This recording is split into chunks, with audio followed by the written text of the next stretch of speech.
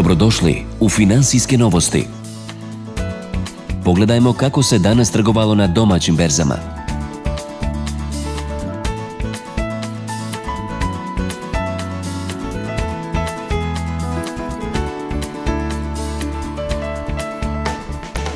Postanite jedan od sedam sretnih dobitnika. Naziv je nove nagradne igre Raiffeisen banke – svi imaoci Maestro ili Mastercard debitnih ili kreditnih kartica u izdanju Raiffeisen banke mogu učestvovati u nagradnoj igri, a u prilici su osvojiti jedan od sedam LED Smart 3D televizora marke Sony. Nova nagradna igra Raiffeisen banke traje od 1. do 30. aprila tekuće godine. Naš cijenjeni klijent koji u ovom periodu obave minimalno dvije kupovine svojim Maestro i Mastercard debitnim ili kreditnim karticama u izdanju Raiffeisen banke automatski postaju potencijalni dobitnici jednog od sedam LED Smart 3D televizora uz komplet od 22 filma čuvenog tajnog agenta. Izvlačenje dobitnika obavit će se 15. maja tekuće godine u prostorijama Raiffeisen banke.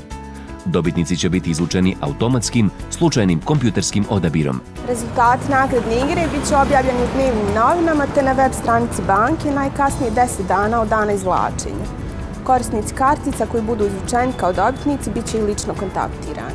Vaša nova misija – postati jedan od sedam sretnih dobitnika.